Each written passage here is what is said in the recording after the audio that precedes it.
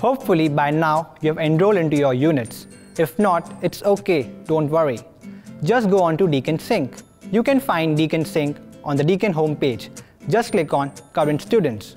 Once you are at Deakin Sync, just click on Student Connect. On Student Connect, you can enroll into the units. However, if you are confused on what unit you need to select, you can talk to the course advisor. Once you've enrolled into the unit, you can find it under your timetable. To find your timetable, just go to the Enrollment, Fees and Visa tab. Under that, you can find out the timetable.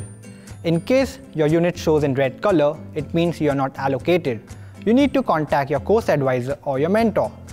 You can also access the timetable on the Deakin mobile app. You can find the app on the Play Store or the App Store. You can use this app to find out about the campus maps and the bus timetables.